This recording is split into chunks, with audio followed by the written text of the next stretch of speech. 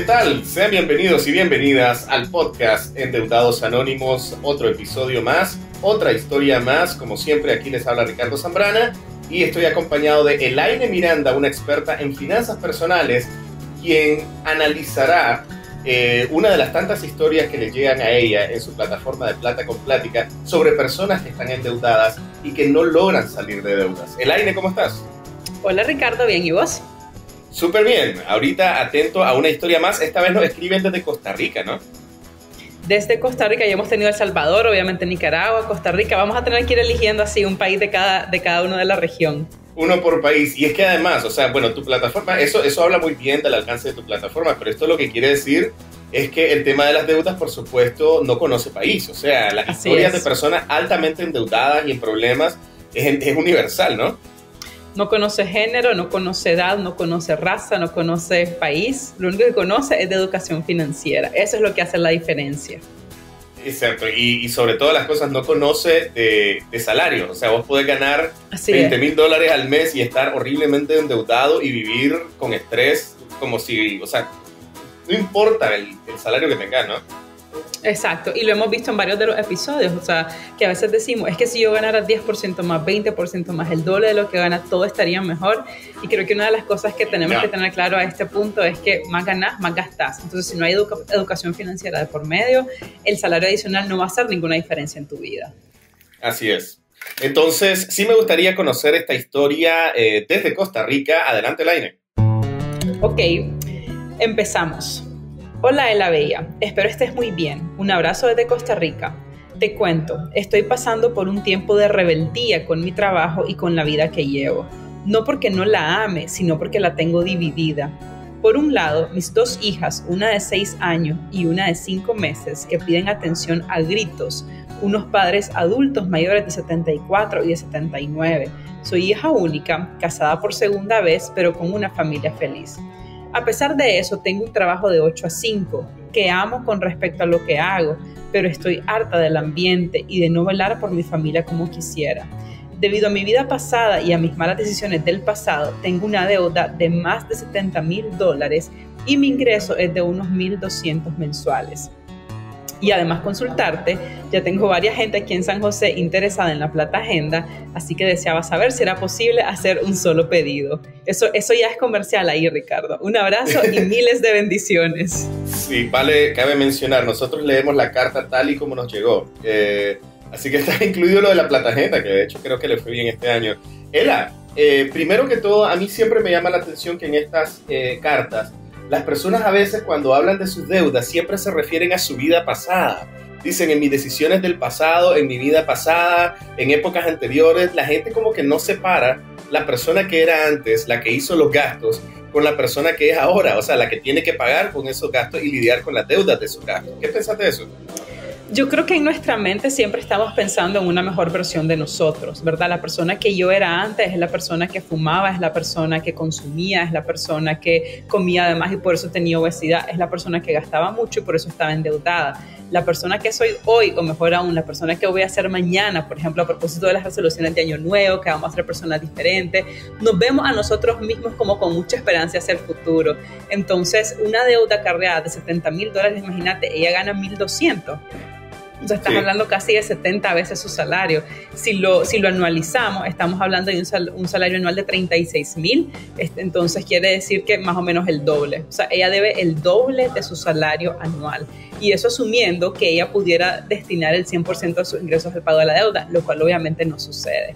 Entonces, eh, creo que este es un ejemplo clásico eh, de lo que estábamos hablando, de no, no, es, no, es, un asunto del ingreso, o sea, es un asunto del gasto. No es cuánto ganas, es cuánto logras que te quede con vos. Y en el caso de esta persona, lejos de que le quedara dinero, más bien le faltaba dinero cada mes y por eso las deudas están ahí. Y recordemos, la deuda al final lo que quiere decir es que yo gasto más de lo que gano, porque la deuda no es que me cae del cielo, es que yo me voy endeudando poquito a poquito porque cada mes gasto un poquito más de lo que gano.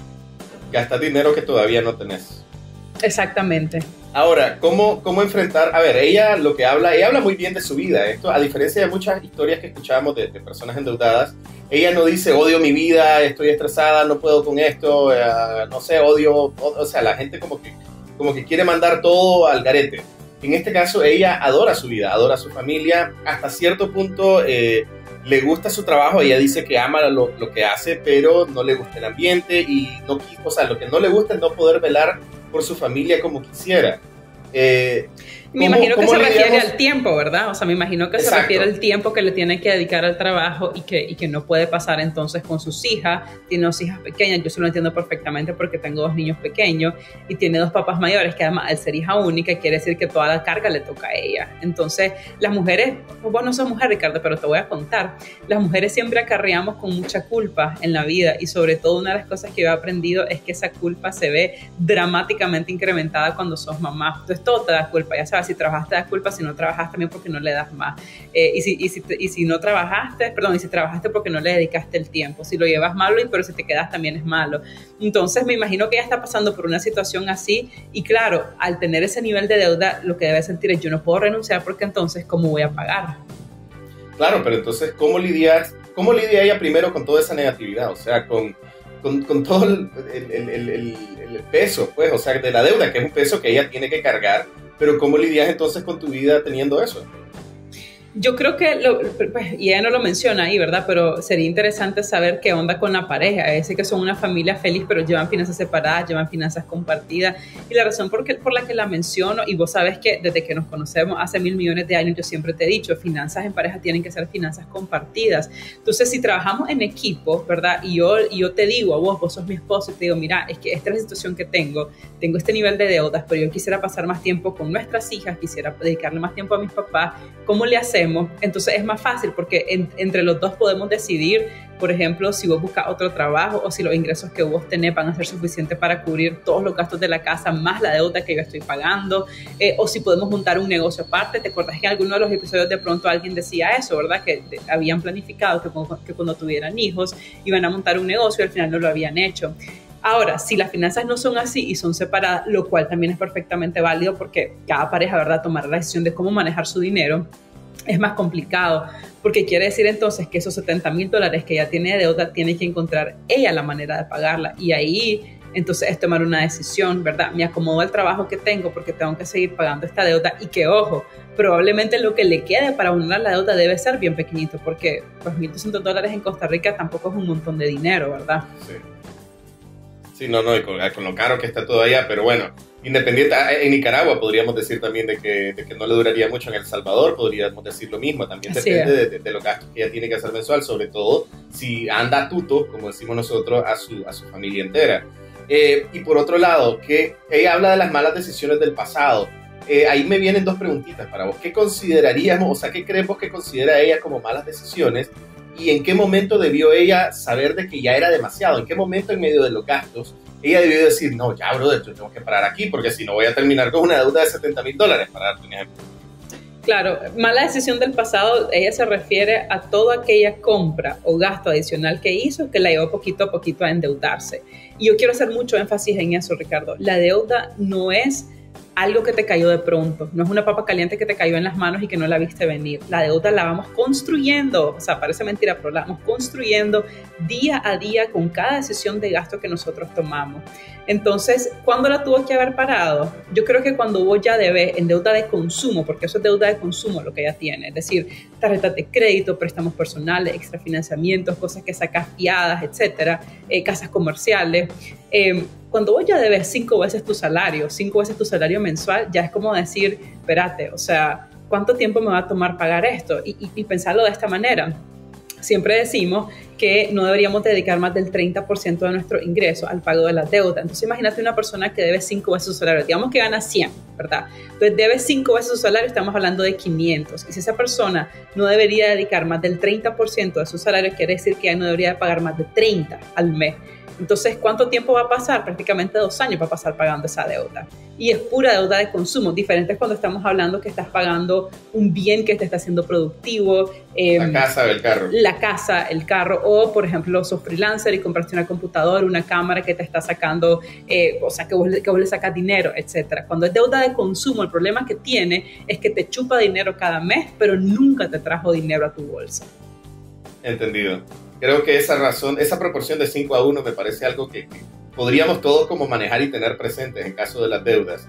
Eh, bueno, llegamos hasta aquí con este episodio. Le agradecemos, por supuesto, a la gente que nos escribe de, de, todas partes.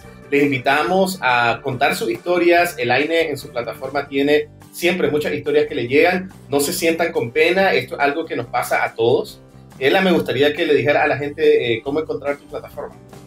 Pueden encontrar la plataforma para recibir más educación financiera, aprender a manejar su dinero en plataconplática.com y si buscan en Facebook, en Instagram, en YouTube, también lo encuentran como Plata con Plática. Y si nos quieren mandar sus eh, historias de endeudados anónimos, lo pueden hacer a través de cualquiera de esas plataformas, igual por inbox, me mandan un correo eh, a elaine.plataconplática.com y pueden poner quiero que mi historia sea anónima y así lo vamos a mantener. Muchísimas gracias entonces Elaine y a ustedes también. Nos vemos en el próximo episodio de Endeudados Anónimos. Conocer las experiencias de otros nos puede dar una mejor perspectiva de nuestras propias finanzas y siempre habrá alguna lección que aprender. Suscríbanse.